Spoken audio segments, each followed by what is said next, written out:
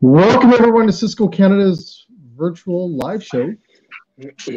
I'm Jay Ashton. I'm the Business Resources and Brand Activation Manager, plus host of our virtual kitchen show, plus our podcast show. Uh, I do a lot of other things. Uh, I don't I don't park trucks yet, but probably that'll be in the list soon. But uh, I'm excited about today because we're going to talk about produce and holy cow, is there a lot to know about produce? So we have many shows. We're going to be like 2022 talking about produce still because it's endless. And we've got some experts today, amazing people. So I'm going to introduce them here in a second. And uh, yeah, this is going to be a great show. I'm, I'm excited. So I'm gonna I'm gonna introduce. Hello, guys. Hey, Jay. Good morning. Good morning. Well, for everyone that's watching us, which I don't know, you guys draw a lot of people into the show because we have a huge audience today. Um, but Very it must be, it must be you, Jeff. It's definitely you. Yeah, Yeah. absolutely. We'll go with that. for sure. followers, you're up all night. Um, anyways, Yeah, we have Jeff. Phillips on the on the show today, and Jeff's going to be joining us on a Produce Talks um, for many shows ahead. Uh, Jeff's the director On an ongoing Produce basis. in Canada for marketing produce. Yes, Eastern Canada. Hope I said that right. we'll go with all of those. Yeah, we'll That take sounds- any of those for sure. That's no problem. Awesome. And we got TJ down there with Chef. What's your dog's name, brother? Well, this is my uh, sous chef. This is Raymond. He uh, he's here to assist us today on making sure everything is nice and fresh. Awesome. And TJ, you're out east. You're out west here with me. Out west, yeah, Oh, I'm based out of Calgary. saying east. I was I'm the uh, I'm the produce specialist based out of um, well, produce specialist for Alberta for Sysco Food. Yeah, that's awesome. Well, welcome. And we're excited. I tell you, you are a world of knowledge in produce. And uh, it's awesome. And you get you've even given me notes to follow along, so I won't screw up too much today. But uh, I'm just I'm really happy to talk about this because this is an area I find with most restaurateurs and most people in our industry, uh, a lot of perception. They know exactly everything about produce, and I, you know, I brag sometimes myself. I know a lot about produce, but just talking with you guys, I don't know anything about produce now. Um, but I think it's a big area, especially for costs that are associated to it. Um, we need to help our restaurateurs out there help save money and make money. So today is a really big discussion around shelf life, buying best decisions on produce, and really have a great discussion. I see a lot of people are adding comments today, which is great. So let's, uh, add, you know what? You guys want to, our viewers, if you want to ask questions to these experts, please do. Yes, Um, yeah, absolutely. away. And uh, we're going to move on here. So let's get started here, gentlemen. Yeah, And uh, For let's, sure. let's talk produce. Let's talk a little produce. So let, Yeah. So for me, Jazz, as I, you know, I think the one Go thing ahead. this is, I mean, I think TJ and I are biased for sure, but you know, I think it's the one category we we relate to our customers more than probably any other category. Um, you know, on a week to week basis, if you think of yourself as a family, you're not necessarily going out buying tenderloin steaks and, and shrimp every week, but you know, every single family is buying produce for home. And you know what? We have the same struggles at home that we do in the industry, right? How do you make that last? You know, who hasn't gone to make dinner? You know, tonight plan, you know, pork chops and some kind of a mixed green salad, and uh, you know, so six o'clock tonight, your mixed green salad's a little bit wilty or or blackened. So we have the same kind of issues, so that we can all really, really relate to some of the challenges, and that's what you know we do want to talk about is how do you kind of extend that shelf life? What's the best way to store something because it is the same challenges that you face at home. And you know, and I think the other thing is we were talking about this a little bit uh, a few minutes ago, is that if you know you think of produce, we all have great memories around it. And you know, when you walk into a grocery store, the first spot they drop you into is the produce section. I mean, it, it's full of you know sizes, shapes, colors, smells uh, that kind of really gets everyone's interest going. And you talk to chefs, like what really kind of drives them. And you know, you hear about chefs going to a farmers market. That's where they get Mhm. the inspiration for you know the specials that night. It, it's not walking through the meat cooler necessarily. It, it's finding what really cool produce kind of hits a nerve that really kind of you know excites people. So that's why I think it, it, it's a great category to talk about. There's lots to know about it, but it's something that we can all really relate to on on a very base level because we you know we buy and purchase it every single week at home too. Yeah, and it's such a big part of our life, right? Like it's just it's everywhere, and it's something that you know we should be consuming every day, and lots of it. Yeah, yeah. Um, right? And we know, yeah. Just talk with you guys, we know very little about it, which is bizarre. Um, but definitely an area, and that's what we're doing today's show is really to educate more people about it and have a great, just casual conversation about it. And TJ, by the way, your dog is getting like huge reviews. He's single. He's single. 50, 30 shows later, and your dog is a winner. well, he is the best. He is the best ever. So where, uh, where do you guys want to start about this? Let's talk about well, I think Jeff touched on a couple of good yeah. points, right? Like we were talking about just produce in general and and you know, kind of what do you do when you go home and what do you want to eat? And usually everybody's looking for they will kind of start with a protein and then what's the side? Or if I'm gonna have a salad, I kind of open my fridge and kind of think, well, what do I have? So it would be the same thing when you're in a kitchen that you want to have almost like a mental log of what you have in your cooler, what you have in the kitchen, and just look at the produce, see where it's at produce was a living thing and then it's slowly it's still alive slowly on its way out out of the world. So you know you want to find that you want to look through your produce make sure that you're using the produce that is potentially going to turn faster um, and just treating it with all that good care. So again we, we took, we're kind of talking about uh, you know proper storage and proper storage all starts with temperature. Um, also it starts with how you buy like there's so many different aspects um, when it comes to produce from even how you source it and who you're buying from and what did that person do to your produce or what are their growing procedures or what are their mm-hmm. uh, um, their cold chain procedures? So how do they deliver the product? How does it end up at the end user? So um, we can see also in the grocery store i mean the grocery store just kind of puts everything out on display and and much like you, you gentlemen were talking about they want you to come and grab that produce but they also don't really I don't want to say I'm not saying anything bad, but it's not like they're they're just putting it at ease of access for everybody to grab it, and then you got to get it home as fast as possible and put it in your fridge. If you were to leave it in your car, uh, you know, for a couple hours, you're rapidly breaking down that produce. So you're losing about a day for every hour that it's outside of the proper time window. So we really want to make sure that the cold chain is met all the way through from harvest in the field all the way into um, kitchens, customers, um, consumers, anybody, home kit, uh, home fridges, all that. So it's definitely very important to uh, to make sure that we're we're keeping it in that cold that cold temperature zone. So for most produce, the temperature zone is around one to four degrees, or one to about one to five. The majority of produce can fit in there. Um, but it gets it kind of everything starts getting really complicated because you got to break everything down to what is the item and you know we have a difference of there's types of warm veg there's types of veg that want to be in a in a warmer range of anywhere of that kind of 5 to 13 degree range. And um, we see more of those warmer veg being things like um, softer skin squash eggplant tomatoes uh, peppers uh, chili peppers anything like that will will definitely want to be in that that warmer range. Even citrus. Citrus is maybe one that surprises people because I everyone of course stores everything in the, the fridge, but you you'd want your citrus kind of in that 10 to 13 degrees Celsius. And you know, ideally uh, uh, in your in your fridge, your fridge is set up to make different temperature zones, and that's why we have crisper drawers and and and pull-out drawers so that we can organize the the fridge according to what we are putting in there. Most people just kind of cram everything in and just kind of move on. Um, in a kitchen, it's kind of the same thing. You got to look at your cooler like different temperature zones. Um, mm-hmm. And everybody's been there with, you know, always the best example is basil. If you put basil in the fridge and it goes black, everyone thinks it's usually a quality issue, but it ends up most of the time being a temperature abuse issue. So, hey, TJ, can I ask you a question? Yeah. Sorry to interrupt. Yeah. No, ask away. I can sit here all day. We'll just let TJ go for it because you're brilliant. But I do want to ask because I and Jeff may laugh a little, and this is more this is more for home. Those little buttons in the crisper I don't know how to set those. I'm sorry, but I don't know if everyone else is the same way. But is it high moisture, low moisture? Like those, you know what I'm talking about? Those little slidey yeah. things they put there.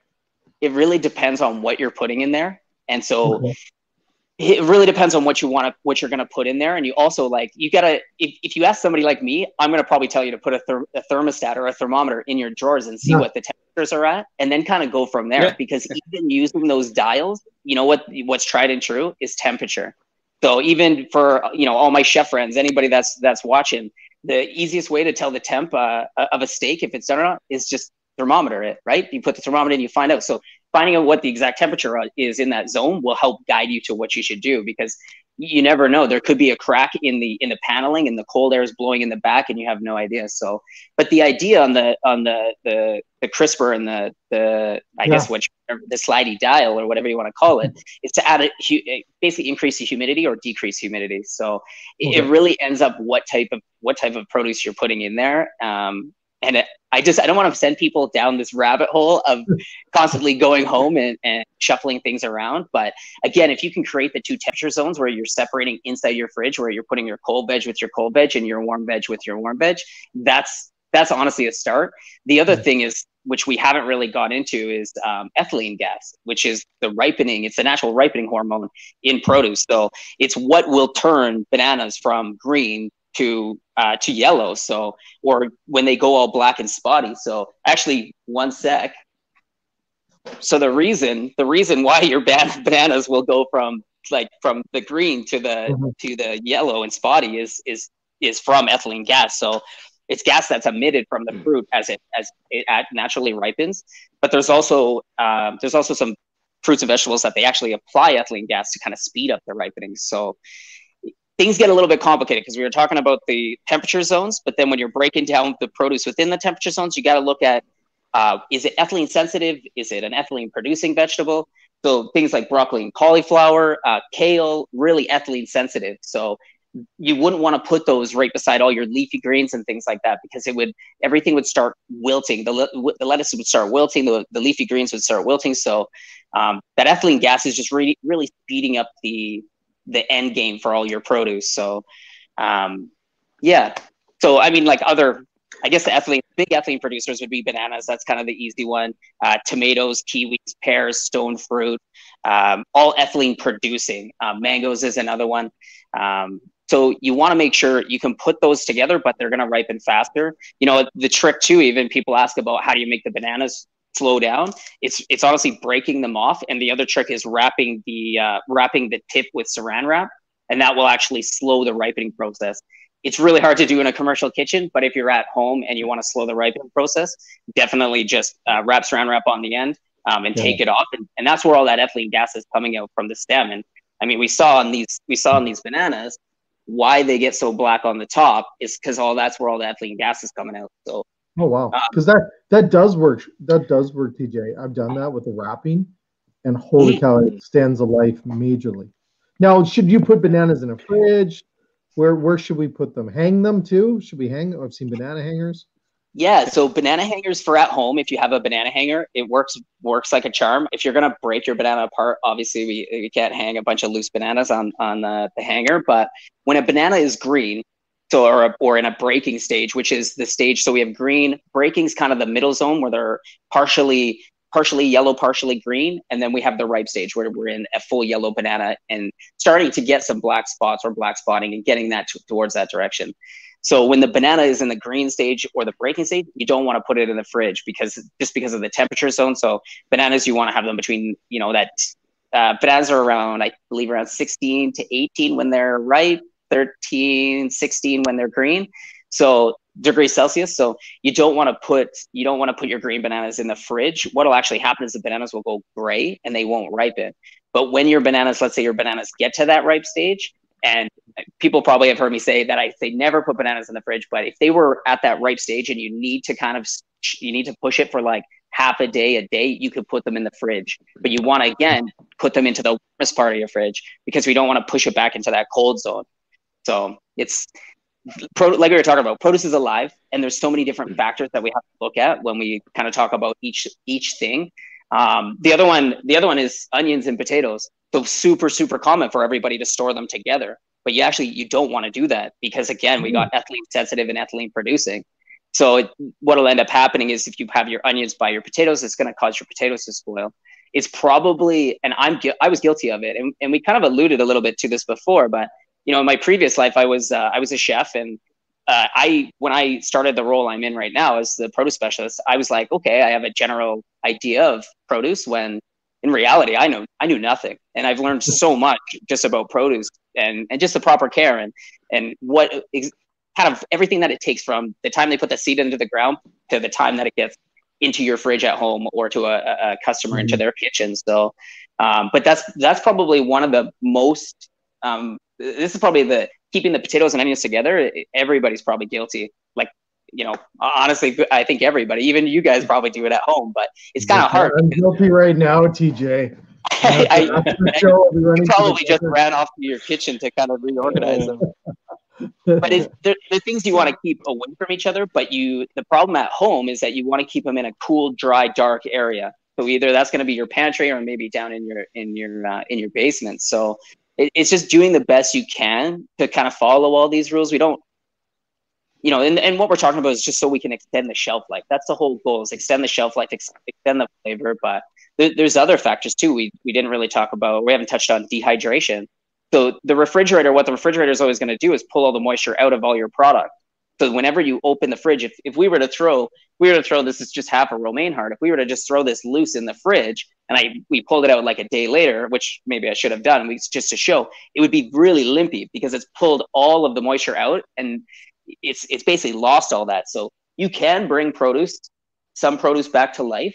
Um, you know, you can bring the, the lettuce, you can try to bring it back to life by putting it in cold water and it, it'll start absorbing some of that water. It won't go all the way back, especially if it's like really limpy. But the same thing would be uh, with celery. Um, everybody's seen limp celery. Everybody's seen, you know, like soft dehydrated carrots. It's really because it's in the fridge and it's exposed to the cooler. So it's, it's kind of important too to, you know, when you're keeping things in your fridge that you keep it covered, that you keep it mm-hmm. wrapped and you keep it, you want it to also be free of moisture because the things that are going to break it down, which we've kind of talked about, so we talked about the, the temperature. We talked about ethylene gas, which I'm sure there's going to be a couple more questions. Um, and that whole process of ethylene gas, we call it conditioning. So um, that's it's really they condition they want to condition the fruit if they have to apply the ethylene gas so that it ripens properly. Um, and the other one being moisture. You don't you don't want to have moisture on your produce because if you put it in the fridge, it's it's going to start um, speeding up the the breakdown of that product. And you don't want water sitting on product because that's what it that's how a lot of times produce loses its aesthetic p- appeal to it. So. Um, and we can we'll talk i'm sure about that too like uh, the alternatives and number twos and things like that in produce but so um, we have a couple questions here that are coming through so thank you yeah. for sending them um, first of all, a big shout out. We got like, I'm telling you, New York to Knoxville to Orlando. Nice. All welcome to the show. Ontario North. Uh, like outstanding. You guys are all here. So thank you so much for joining our show today. So we yes. have some questions. So keep them coming. Appreciate we got lots of questions here, but we have a great one. Um, can you slow the? Can you stop the ripening of ban- bananas? Can you stop it completely?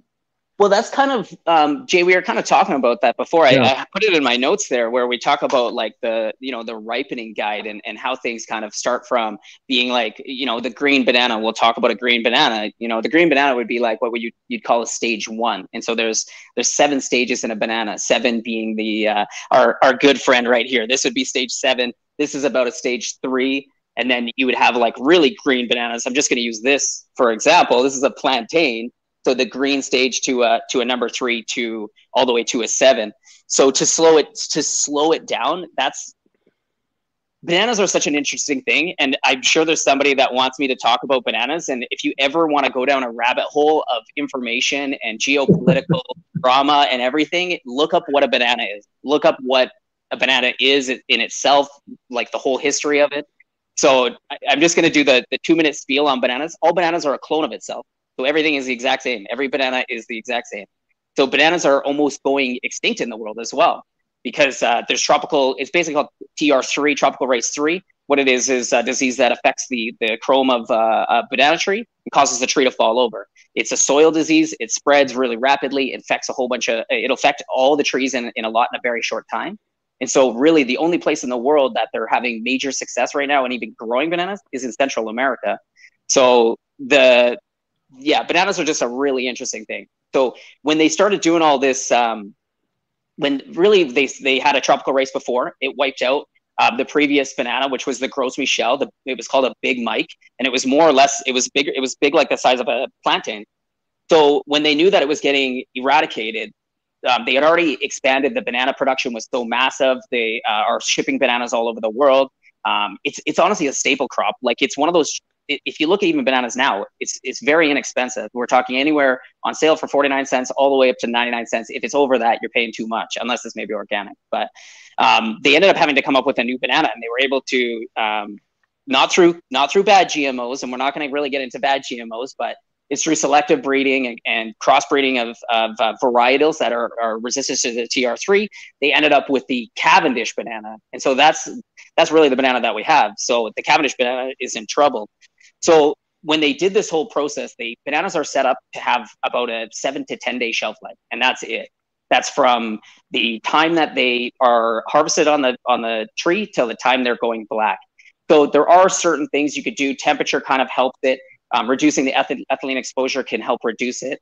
But really, bananas are on that track to to go to black, like no matter what. So, can you stop it? Not really, but it's you can do certain things like i was mentioning we are talking about breaking the bananas apart wrapping the tops. That's kind of the only thing you do and that's slowing the the ripening process um, from the ethylene gas but yeah bananas are just wild and they they honestly interest me and honestly blow my mind. So um but yeah honestly to slow them not really. So they like i was mentioning they harvest them from the tree they're green. They actually put them on a banana boat that's uh, uh, they put them on a banana boat or put them into usually shipping containers with um, uh, in an ideal almost in a dormant state so they want it to be in an ideal condition where it basically goes to sleep when they import the bananas into canada all the bananas are super green like they're very very green what they'll do is that's where they add that conditioning gas, the ethylene gas. They add that that step of um, basically encouraging the banana to say, "Hey, wake up! It's time to go and be yellow." But once that starts, fast track to to dead Deadville, like just gone. So, not really, unless you're going to break them apart. There's not really much you could do. So, yeah. Thank you. that was awesome. so short answer uh, is no. If you got that, I was going to say, you can't stop it. You can slow it. short answer honestly, no. The five minute answer. Thank you for that. Yeah. No, that's awesome. So what um so when we talk about putting um different produce in coolers and stuff for restaurateurs, can we talk a little bit about that? Where is the best place to put these things? Yeah, like you, whenever you look at your fridge, obviously we were talking about the temperature zones, the temperature ranges of where everything should go. Um, when you walk into your cooler, usually the reefer is at the very back, up at the top. It's blasting you with cold air. The coldest part of the of the cooler will be directly in front of that reefer unit. So if it's if you have it on the side blowing out, it's going to be that wall on the side. If it's at the back, it's going to be that back area. The warmest part is going to be at the front. The warmest part of your of your uh, cooler will be where your cooler door opens because that's where it's sucking in all that that warm air and constantly pushing it. So mm-hmm. it's actually okay to store, like you know we were talking about, great place to put your citrus, amazing place to put your herbs. Things like oregano, basil, they need to be in that 10 to 13 herbs are pretty temperamental. And another one you want to make sure that's free free of moisture. You they actually will um, if you put a dry paper towel if you see moisture that will help extend your shelf life as well. Things like your dill or chives because those are normally fairly wet. Um, but yeah really at the front of that cooler is where you want to kind of put out, like I was mentioning, your citrus, your bell peppers could go there, your soft squash, squashes, your hard squashes could go there. Um, interesting one that you know is kind of a bit that we are kind of talking about. There's some some stone fruit needs to be cold, um, or sorry, some melons need to be cold. Like, like um, sorry, a honeydew needs to be warm, but a cantaloupe and a watermelon needs to be cold. So we usually we like to bunch things in like group. Like I've kind of done on the counter. I got all my citrus together, all my stone fruit together, I got my brassicas together back here. So you know, everybody everybody just tends to put them together. But again, we kind of we talked about it a little bit before. Is that you know we love the look of it. We don't want it to go bad, but we're not taking those kind of the, the, the little bit of the extra step, that extra care, I guess that that we should put into it. So you know, and that's if you if you're getting a delivery, it's inspecting the uh, inspecting the produce before you put it away in the cooler, putting mm-hmm. it away in the cooler as fast as possible, uh, teaching good habits to make sure that people are keeping the cl- the cooler door closed, um, using different temperatures, uh, thermo- thermostats and thermometers uh, in various locations in your cooler, so that or your fridge at home, so that you know where uh, what your temperature zones are and you can create them. Um, there's a lot of great resource that we provide uh, that Sysco provides, and there's also great resources that you can find online. And it just takes a little bit of digging to find what you, you know exactly what you're yeah. looking for. Um, you don't ever want to go down the rabbit hole of finding the answer. You don't want to look for the answer that you're looking for. You want to kind of find the facts. You know, maybe, and that's the thing with produce. You're always going to learn something. You're always going to find something new with, with produce. So, I agree. I think I the, totally agree on that. Yeah. yeah. So I, I Yep. think the big one, Jay, is you know our customers a lot like us. We've got limited space, right, in terms of kind of getting everything kind of put away once you've got an order delivered. So it is just finding out, regardless of whether you've got a full walk-in cooler or whether it's just a reach-in, it's just understanding where the warm and cold spots are in that cooler, and it's looking at things that are that are very sensitive to temperature. And you know, a great one is is kind of a, a spring mix, a lettuce blend, an Arcadian blend. Uh, we see a lot of that, and that's one where we, we typically get challenged on. Unfortunately, it's one that a lot of people keep near the front of the cooler, right? It, it's used a lot. I think how many times we use a lettuce blend, especially during a lunch rush, right? It's just about on every other plate beside a sandwich. And so people keep it near the front because they want easy access. But of course, with a fridge door, open, close, open, close, your temperature is just going up and down like a roller coaster. And that's Yeah. that's really going to affect the shelf life. So it's things like that. I think it's understanding, you know, certain things you want to keep in the packaging that it's delivered in. All of that is, you know, with micro perforations on the bags, it's all designed to help extend that shelf life. So there's certain things, and I get it. You know, we've all been in kitchens with limited space. There's certain things you just can't have a bulky box. I think it's just trying to understand what are good things that maybe you could take out and put in a bus pan, right, to kind of save Mhm. space, and what are things that you really want to kind of leave in the box in the bag. And a lot of those lettuce blends are are a great example of that, where ideally you want to leave them exactly how they came packaged to you, because that really is designed to to maximize shelf life for you. Yeah, and Yes, I think yeah. So go ahead, TJ. I uh, I was just gonna. That's excellent points. Exactly to what Jeff is saying. The you know we want to keep certain things in the box that it's that it's coming in, and usually if you're doing something in your cooler and you go in and ins- inspect it and things look shriveled or dehydrated, usually it could be a storage issue. So those those are the little signs that we need to look for, or things that are rapidly breaking down in your cooler. It, it really could be because it's too cold. It's just rapidly breaking down. So we can see all various types of things and some great points by Jeff, even with this the lettuce mixes, but also the whole head lettuces. We want to keep those in that in that one to four range, and that's again when we're talking about the the cold veg, the warm veg, um, and in your fridge, there's there's definitely the the spectrum. It's not going to be ideal for everybody. Um, it all depends on the size of your cooler, like we talked about, where the fans are blowing out. But even if you have to take it out of the box and it needs to stay covered, but you need to get it into that container because it's just there's no we're basically paying you're paying for something that you're just going to throw away like it's the the equation is there it's just, you know you buy it you improperly store it it's not going to end well for you so So so I'm going to throw this both to you guys. Is how much is the environment playing in factors of our produce quality? Is is it huge? Like It- of, of what's happening? Because I always hear it. It's like, oh, they're having a bad season down in California or some part of the country. Yeah. Is that how, how know, big is and that? It, it's a massive piece, right? It, it, it's the one thing that we we can't control. We can't control Mother Nature. Um, you know, these aren't cans of beans that can be replicated the same day. You know, from January 1st to December 31st. So obviously, you know, weather, market conditions, and it can be all over the map. So currently today we're experiencing wildfires throughout the Salinas Valley. So what that means for us is that you know at some point it's, it's maybe not going to be on today's order, tomorrow's order, but definitely you know you look a week, ten days down the road, we're going to see the effects of that. So it's something that we really have to monitor, and it's whether you know we're in the Salinas area, whether we're in Yuma, uh, we're kind of uh, Mother Nature's. Uh, you know, it's up to her to kind of decide, and that really has a, a massive effect on the quality. And you know, we put out little you know QA videos all the time, and it, it shows you the effects, whether it's heat. You know, we've also got some extreme heat going on in Salinas, so the heat will affect it one day. Uh, another day, you might have too much too much moisture. There'll be some effects of dew. So you start to see a lot of these things and understand that it's we can only do what Mother Nature kind of gives us. Yeah, and and and I think the uh, environmental impacts are going to he continue to adjust our produce quality throughout forever almost. yeah Absolutely. Yeah, absolutely. just to touch on what jeff was saying i you know nothing like all of this anything that we're talking about i think is easily google googleable. Like you could google whatever we're talking about googleable? If you if even to speaking to, to Jeff's point, um, just talking about the Salinas Valley, the, the Salinas Valley, it's south of San Francisco. It's basically a very um, temperate climate zone. It's the Salinas Valley starts at the bottom of a bay, they just get that nice cool sea breeze blowing down the valley keeps the temperature very temperate. So that's why they can grow. It, it enables them to grow the, a vast majority of the produce for all of north america. And I, I don't think people really realize that how much that the it's it's really that climate zone how dependent we are solely on that climate zone. And and to jeff's point we're talking about the river the river fire or jeff mentioned the river fire that's it's now it's got to be well over ten, it's over 10,000 acres um, and the, the way that mm-hmm. obviously you know what a valley works if the valley goes like this they grow everything in the field there's about 100 square acres that if they look to the if they look west the whole valley uh, ridge is on fire and there people are there mm-hmm. harvesting and pulling produce out of there so even to kind of Jeff's point, there's certain things that, and this is all because of the giant heat wave that they, they've had. So if the the average temperature in Salinas, the ideal, they want around that 23 degrees, 25 degrees is okay.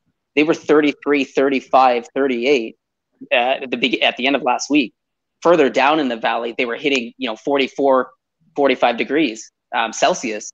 So it's well over 100 Fahrenheit, like just crazy, crazy temperatures um, that that are going through there. And obviously you can't go to your garden, turn the dial on the sun up, and just burn all. It'll just burn all of your produce. So, um, kind of with the fires and the, the combination of the uh, it's combination of the fires, we're actually seeing ash all over the product, and we don't really know how that's going to impact it. If it's going to um, if it's going to uh, cover all the uh, cover all the cells on the on the leaves and cause it to break down. Um, we don't really know these impacts. These are just things that we kind of face in produce every day, and even to the, the temperature um, the temperature, we're going to see all types of issues across lettuce, berries, um, peppers, uh, soft squash, uh, a lot of the crops. And this is also at a time that um, we're talking about growers that are growing food for us in a pandemic. And I mean, a lot of people, we're not really going to talk about this pandemic part, but when everything kind of went sideways in March, there's still all these farmers that have to plan all of their field months and months in advance. It's not like snap your fingers, throw the seeds at the ground, they have arugula or whatever they it takes time takes planning. So knowing that we're going to go we were going to be in this and potentially in a long time there's a lot of people that consolidated what they were doing and are growing less. So we were kind of already faced with that and that leads to further challenges because every year we all know it's it doesn't say temperate climate really anywhere. There's only certain pockets of the world that kind of stay temperate throughout the year. But if we it, they're going to leave from the salinas valley once it, if it, the temperature drops usually october november and they make the move down to yuma arizona and then they're growing down in the Imperial Valley, uh, down to Yuma, in in that that whole area around there. And that's really they got to move to to try to recreate the climate zone that was in Salinas, just to mm-hmm. continually put out food. But we we've Jeff and I have seen Jeff's probably seen a lot more than I have, but you know I, I can tell you stories of the we're getting pictures out of the greenhouses in Mexico, and there there's snow and ice all over the greenhouses, and it's just things that like Jeff had said, we we can't control the environment. we can't control the wind, um, wind is another factor that causes a lot of scarification on produce, and that kind of goes to where um, if we have ugly produce, there's some people that are okay with it, and other people that are uh, not okay. the The item itself is still all, all right. There's nothing wrong with it. It was just probably sitting and rubbing against a branch or one of its friends on, on the on the vine. So um, endless amounts of factors when you, we're talking about produce. We're, we're literally talking about something that is alive. We're hoping that we get the best sun. We, we hope we get some rain and the irrigation works fine and the, the, there's no water issues. Hoping to get this most ideal uh, piece of fruit or vegetable, usually after 60 or 90 days, mm-hmm. hoping for the best. And sometimes it, it just doesn't cooperate. And it, it could be many, many things from, you know, like we were, t- the main thing is being weather. Mm-hmm. So, but there, there's also labor issues. There's tons of labor issues down in, in the growing fields. Uh, you know, like we're talking about I mentioned that there's people working in the fields. Um, there's people that are working in the fields that are they're also dealing with the pandemic, but they're in scorching heat, and they also have to deal with this forest fire right there and doing a backbreaking job. So um, I just think it's my whole point with that is just to treat produce a little bit nicer and um, just take a little bit more care and, and, just remember where it came from. So. And, yeah, and there's also all the Canadian the Canadian growers, and sorry to cut you off, Jay, but even the yeah. Canadian growers. I mean, we saw a very fast, rapid uh, cherry season, the blueberry season this year out of the Pacific Northwest. They everybody, it doesn't matter where you are, you're all facing some sort of challenge.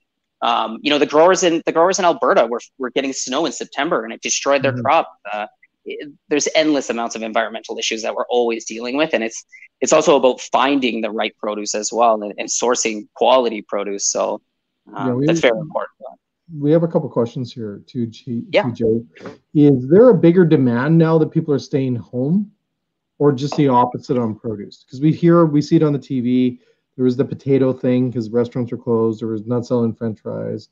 Is there a bigger demand? Like where are we at with that right now? The just the you were we were kind of talking the potato thing. There's there's two types of potatoes. There's like regular table potatoes which you buy in the store, and then there's there's processing potatoes. So there was a huge backlog of pro- processing potatoes amongst a whole bunch of other vegetables that kind of got left in the field, and um, they just had to to basically dig it under. So you know the the one thing that I can tell you that how I look at it of people being at home and everybody, I think a lot more people um, were doing the home delivery if they were going out buying their their produce, they were grabbing what they could, but people were going home and cooking more meals for themselves. So me being former chef, it's it's I find it encouraging that people are wanting to get back in the kitchen and cook. And that's going to help expand their horizons on on different fruits, different vegetables, um, and just eating more of a larger variety of food which is then going to encourage them to go back out to their favorite restaurant or somebody that's doing something that they like to cook and see, you know, maybe I can pick up some tricks from them. Maybe h- how much better are they doing it than me? So, um, yeah. So has the demand gone up for produce? It's not really. It's kind of like a little bit of a complicated question because it's. I would say maybe the demand has gone up because we're in summertime when mm-hmm. we first went into pandemic, it was all root vegetables, carrots, potatoes, anything that was bagged was in any type of retail bag. That was the hot, the hot items, and it was still anything that was going to last. Once we hit summer, it kicks into the summer veg. But the the biggest thing that we're facing right now is uh, is honestly the planting shortages, just from COVID, where the farmers didn't plant enough crops, oh, not wow. knowing what the demand is going to be. That that is probably the biggest single factor that we've probably been dealing with for eight weeks, Jeff, out of nine weeks. And that's when we talk about it, we're just talking about produce in general. We're talking about everybody is kind of in this the same kind of COVID bubble. Yeah. Um, and that's it doesn't matter where where you're growing, you're impacted some somehow, some way. There's also people have bought the seed or prepaid on their seed uh, in different areas. So there's just all that added cost, and and the, the growers need to do what they what they can to um, stay just basically stay growing. Because so then we have um, we have food next year kind of thing, food in six months, and keep that cycle and keep that rotation going of produce. Yeah, awesome, awesome, awesome, awesome. So there's one more question here because I'm going to wrap it up, or we'll be here till tomorrow. uh, anyways, uh, there was um, the the last great question, and I'm thanks James for asking this question. The real debate, he said, uh, refrigerate tomatoes or not to refrigerate tomatoes. Great. Perfect. so we have to think about it again. We're talking about produce. So we got to think about many, many things. You got to think about where did it come from. So the reason I, I say that is because there's there's multiple tomatoes that are in the in the in the market. I mean, we got there's some grape tomatoes here, there's cherry tomatoes, there's round tomato brown tomatoes like beefsteaks and and these rounds these TOVs.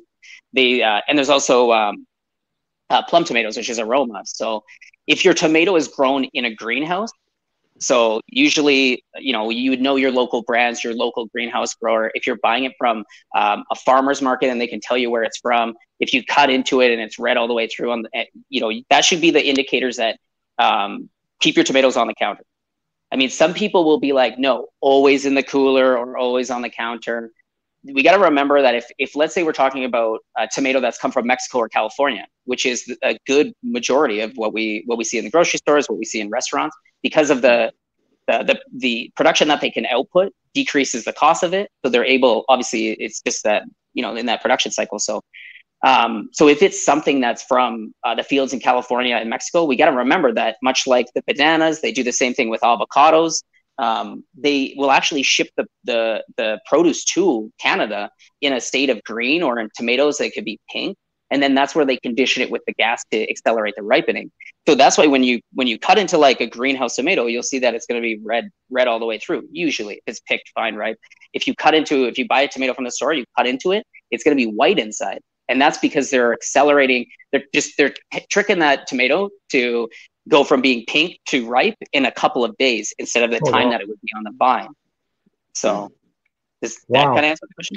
And just one here, one more as well. If we were talking like TOVs and this was the if this was on the vine still, your bottom one, that would be your ripest one. And then you okay. work your way back. Yeah. Oh really? Yeah. So if I, I'll throw in my two cents too, Jay, on on tomatoes. How's that?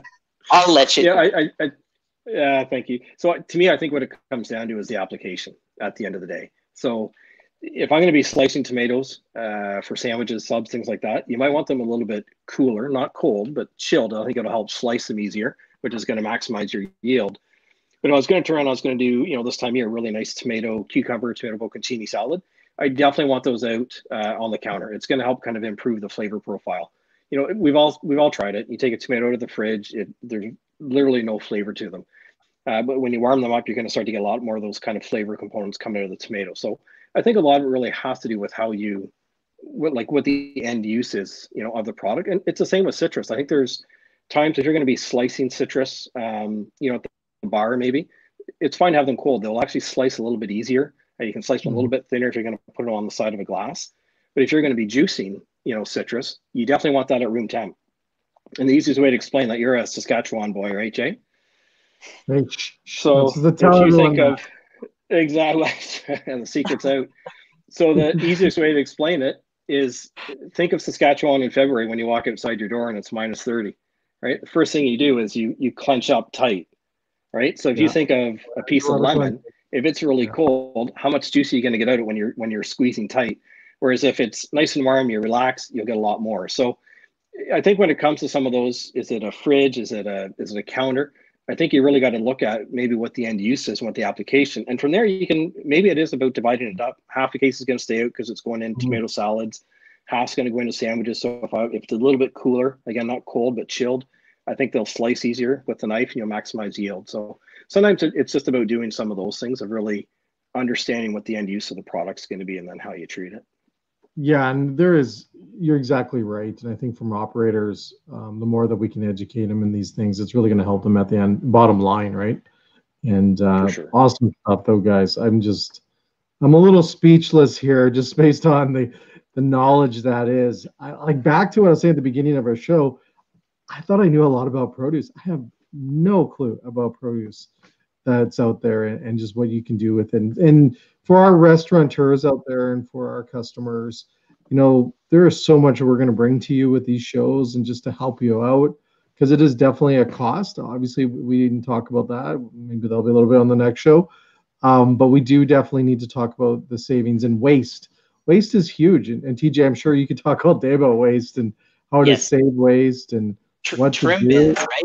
Like I oh, had them right here in case we were going to cut. Always have bins ready for all your trim, and and even to your point, sorry, I'm not uh, 30 second interjection, but the uh, it's it's always saving your scraps, right? Like utilization of what you have. You, you shouldn't really throw away much of your produce. There's there's items that are going to be higher yielding. Um, so like larger size fruit, like this orange, will yield more than this the these smaller fruit. So this is the difference of a 138 count or a, and a 56. So if you're if you're looking for depending on what your, the application is, you're going to yield better out of a larger size fruit. Mm-hmm. Yeah so it's really in, in saving your scraps. I mean if you if you're making gravy or you're making a soup or uh, you're doing your dinner veg the scrap can end up going into a soup. It, we just want to get that full utilization of it out of everything that we do. And and one of the thing that we didn't really touch on is also the balance of what you're going to be putting on the plate you don't want to take like all of your you know two dollar and fifty cents per pound plus uh, items and be like stacking them on top of each other like broccolini on top of asparagus with baby peppers and just keep stacking these potentially expensive vegetables. You want to have that nice combination of you know root vegetables uh, turnips rutabagas anything uh, parsnips is a good addition yams is a good addition anything to bring the overall cost of that side dish down or give it really that balance um, people do it all the time with asparagus, and then you see bell peppers. If you do that in the spring, you're definitely going to be saving money. You got low costs on both of them, both of those times. So there yeah. is, and we'll get into that more because that, that's a really good part to discuss. Is more around, um, you know, plating and what to do within the restaurants and different fruits and vegetables that we can put on our plates. I know I've I remember having those discussions. You brought up some memories from the past. When I was in Calgary, we used to talk a lot about that, like what's the right thing to put on the plate and how long you know the perceived value as well changes right and yeah. there's, there's there's a lot of tricks there you can do as well so awesome stuff gentlemen for everyone else we're going to continue you. to bring more produce talks every second week we're going to have the guys back and uh, i think we got some surprises if i recall we're going to be maybe from different parts of the country maybe some parts down the U.S. Absolutely. We're going to bring in people. Hopefully, we get some farmers and people from the fields. Woo! For sure. Lots to learn about Yes. produce here, folks. Awesome. Live from the field. guys. Yeah, right from the field. We're going to bring it to you. So, Yeah. everyone else, thanks for joining. Um, uh, our show, Virtual Kitchen Show, is every week. I say that every week, Tuesday, Wednesday, Thursday. It's either 11 a.m. or 3 p.m. Eastern Time. Uh, we're going to continue. We have lots of shows. I think we booked number 70. 70 more shows coming up. Um, plus, we've got a lot of surprise chefs coming as well. Um, we're gonna have a great time just being able to bring you some knowledge and some simple stuff right to your phone if you want to watch on your phone or your computer, ah, whatever works for you. Um, all stuff. But thanks again, Jeff, TJ, Thanks, Wow. thanks, Jay. Rock. Appreciate it. Um, your sous chef left, so we'll say goodbye to him next time. He's Um, sleeping now. okay, awesome. Well, thanks again, guys. Everyone else, have a great rest of your day. thanks, Get up there, support our Thanks, guys. restaurant, and go eat at a restaurant tonight. Okay, we'll see you later. Thanks, guys. Thanks, DJ.